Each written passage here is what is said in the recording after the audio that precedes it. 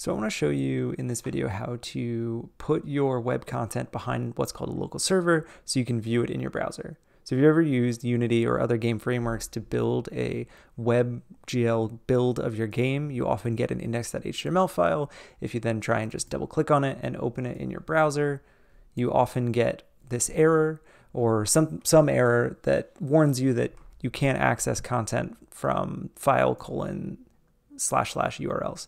And if you look at your URL bar, you'll see that it's like C colon blah blah blah. So it's actually trying to reach into your hard drive and and read a file and run it in your browser. And for security reasons, that's a problem. And so browsers will block that. And what we want to do instead is put our content behind what's called a HTTP server um, and then view it in the browser. And this is how most websites are hosted. They're behind a server. And then we won't hit these security restrictions. So multiple ways to do this. I'm going to close this tab. I will post this below the video, but you can, if you're really looking for a GUI, use this Chrome extension, which allows you to basically choose what folder to serve, and then it shows up in your browser behind a URL.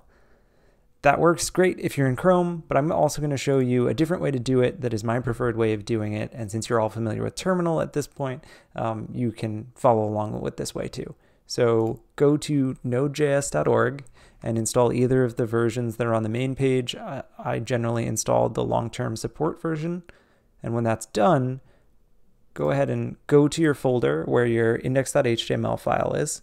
And if you're on Windows, you can hit Alt F and then click on Open in Windows PowerShell take a second to open up, but what we can see is that we are in that directory. We're in C, users, my downloads, blah, blah, blah, blah, blah, milestone three. That's where we are. So from this directory, we can then run a node command. So npx http dash server space dash o. And what this does, npx is part of the node ecosystem. It's a command that allows you to run um, node packages we're going to run the HTTP server package, which is a little HTTP server. And by default, it is going to serve up the files in our local directory so that we can view them in the browser. And the dash O flag that we added at the end just means please open the browser tab by default. So we hit enter, it's going to start up a server, spin up, show us our WebGL game, and everything will work like normal.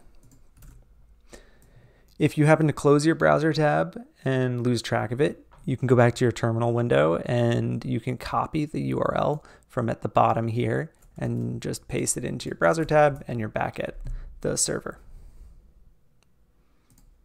So I want to show you one last thing.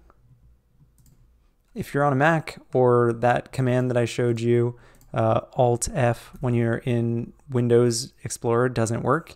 Another way to do this is you, you open up your terminal of choice. If it's Windows, open up PowerShell. If it's Mac, open up Terminal. Um, I'm going to open up Windows Terminal, which is a new sort of beta terminal that I like to use on Windows. You're going to type in the command cd space, uh, which stands for change directory, and then you are going to go up a directory to from your index.html file so that you're seeing the directory that holds the HTML file. You're going to drag and drop that into your terminal window. So we're saying change directory to this location, which is the folder where index.html file is. Hit enter. We can see now that the path has changed in our terminal window and we can run the same command, http server dash o, hit enter, it'll pop open our game. And that's all there is to run WebGL games on your local machine.